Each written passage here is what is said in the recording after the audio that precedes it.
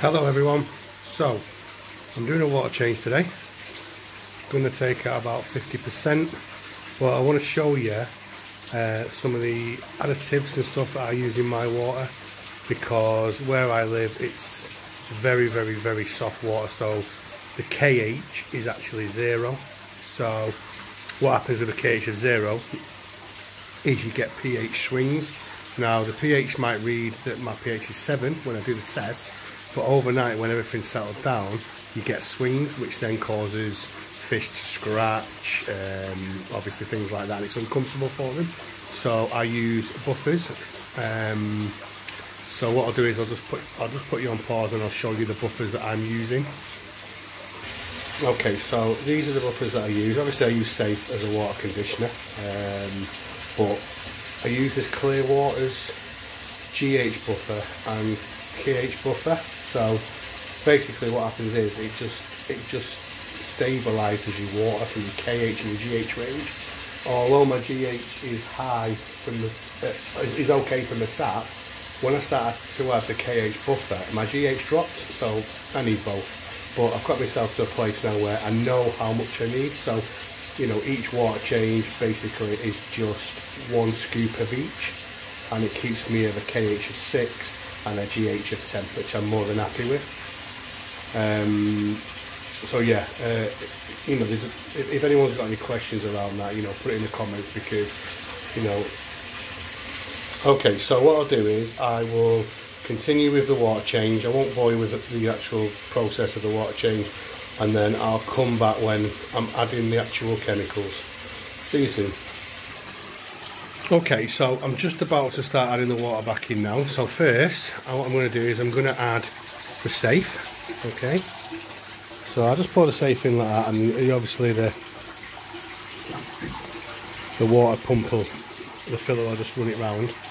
Okay, so that's safe first, and then what I'm going to do, I'm just going to go and mix one spoonful of KH booster and I'll show you how I add that as well. Just going to pop you on pause. Okay, so I've just mixed the one um, spoonful for KH and basically I just slowly add it to the water.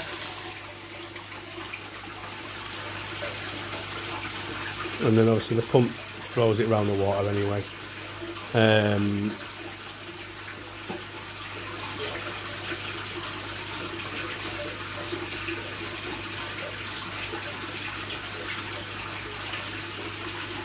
So yeah, that's the KH done. I'm just going to whack you on pause again while I go and do the, the GH mix. Okay, so I'm just about to add the GH buffer. And this one, this makes your tank go cloudy, but it doesn't stay cloudy for long to be fair. Again, just add it at a slow rate, no need to chuck it in. Just so obviously the pump flows it around the tank evenly. Uh, yeah, like I say, this is a bit thicker, so you do get a cloud in your tank. You do have this instinct just to throw it in. But it's not a problem if you do because obviously I've got that much flow from two FX6s that it'll blow it round anyway. Let's give that a little bit of a cause that in the water. Okay, so the buffers are added now.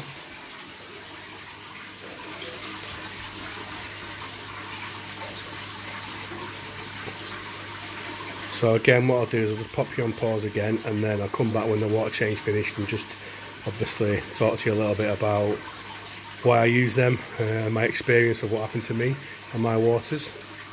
So again, see you in a minute. Okay, so we're back now. All the water's been added again. All buffers are added. And as you can see, the, the GH is clearing up already. Um, so just a little bit of a reason to why I use them. They, they so I had a lot of problem with my water, and obviously with the water being KH, you know, I've I learned through speaking to loads of people um, that actually it's your KH that controls your water and your GH, and no people don't really check them, but it's something I check all the time, and, and I never ever check my pH because I know that if my KH is okay, then my pH is okay. So it's a, my opinion. It's what my preference is, but I, I swear by these buffers. Um, and the Clearwater ones are by far the best value for money because some of them can be quite expensive to use. Um, yeah, so I just wanted to sort of like to share that with you guys. If you liked it, can you please like the video, comment, um, give me advice in what you're using, ask any questions, and also can you subscribe to my channel. Thank you very much.